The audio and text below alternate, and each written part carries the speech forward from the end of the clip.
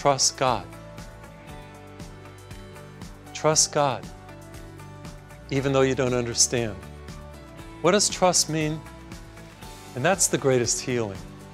When you've come not just to believe in God, not just to believe that God can cure you, but to trust Him even when you don't.